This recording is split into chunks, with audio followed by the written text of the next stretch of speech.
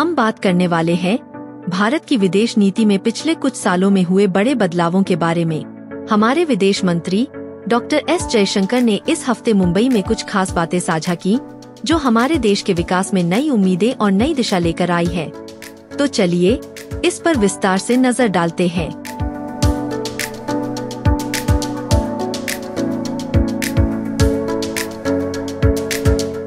Doctor Jaishankar ने कहा कि पिछले दस सालों में भारत की विदेश नीति में काफ़ी बड़े बदलाव आए हैं।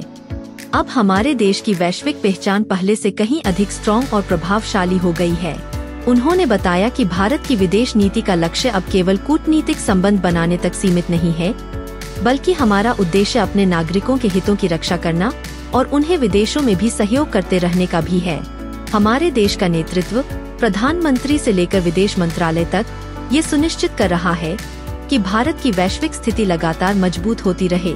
आज भारत को एक ऐसे देश के रूप में देखा जा रहा है, जो अपनी बात मजबूती से रखता है और जिसका विश्व के महत्वपूर्ण मुद्दों पर असर पड़ता है।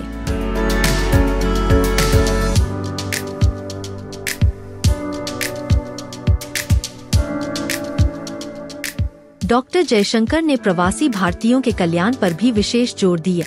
उन्होंने कहा कि अब भारतीय सिर्फ़ अपने देश में ही नहीं बल्कि विदेशों में भी अपनी पहचान बना रहे हैं। हमारे प्रवासी भारतीय आज हर क्षेत्र में योगदान दे रहे हैं।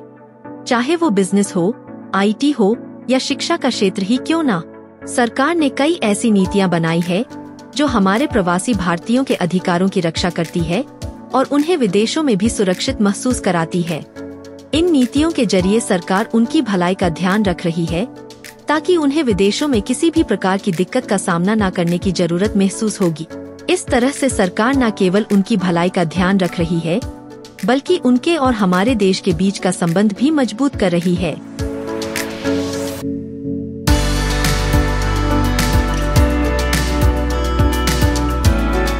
चलिए, अब बात करते हैं ग्लोबल मार्केट में भारतीय व्यवसायों की।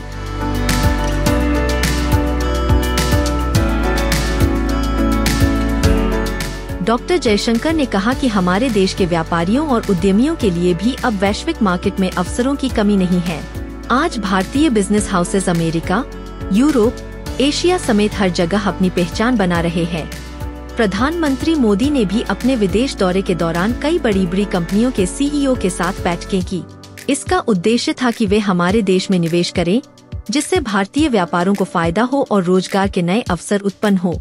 इससे न केवल हमारे बिज़नेस का विस्तार होगा, बल्कि हमारे युवाओं के लिए रोज़गार के नए रास्ते भी खुलेंगे।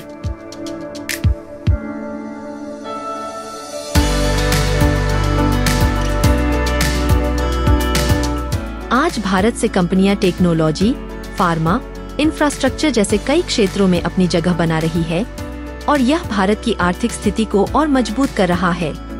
साथ ही डॉक्टर जयशंकर ने एक और इम्पोर्टेंट बात भी शेयर किया। वैश्विक रोज़गार बाज़ार में भारतीयों की बढ़ती पहुँच से आज केवल भारत में ही नहीं, बल्कि देश के लोगों के पास विदेशों में भी नौकरी के अच्छे मौके हैं। भारत सरकार ने कई देशों के साथ समझौते किए हैं, जिससे भारतीय नागरिकों के लिए रोज़गार का रास्ता खुला है। इसका सीधा मतलब ये है कि अब हमारे लोग यूरोप, अमेरिका, मलेशिया जैसी जगहों पर जाकर अपने करियर को आगे बढ़ा सकते हैं। ये केवल आर्थिक रूप से नहीं बल्कि व्यक्तिगत और पेशेवर रूप से भी भारतीयों को मज़बूत बना रहा है। इसके अलावा, डॉक्टर जयशंकर ने महाराष्ट्र के योगदान पर भी अपने विचार साझा किए। उन्होंने कहा कि महाराष्ट्र का विकास भारत की पूरी विकास यात्रा का एक महत्वपूर्ण हिस्सा है।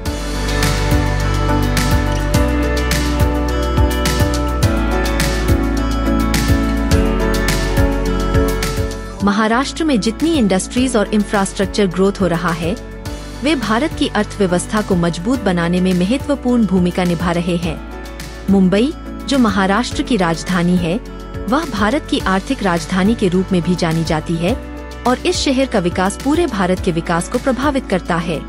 तो दोस्तों, ये थी भारत की विदेश नीति और विकास के उन नए आयामों की एक विस्तारित झलक, जो हमारे देश को विश्व स्तर पर एक नई पहचान दे रहा है। आज भारत की विदेश नीति हमारे हितों की रक्षा करने के साथ साथ हमें नए अवसर भी दे रहा है। ये बदलाव भारत के विकास का ही हिस्सा है, और ये हम सब भारतीयों के लिए गर्व की बात है। अगर आपको ये वीडियो पसंद आया हो तो लाइक, शेयर और सब्सक्राइब करना न भूले। आपके विचार हमारे लिए महत्वपूर्ण है। तो कृपया नीचे कमेंट में अपने सुझाव और सवाल ज़रूर लिखे। मिलते हैं अगले एपिसोड में। तब तक के लिए धन्यवाद।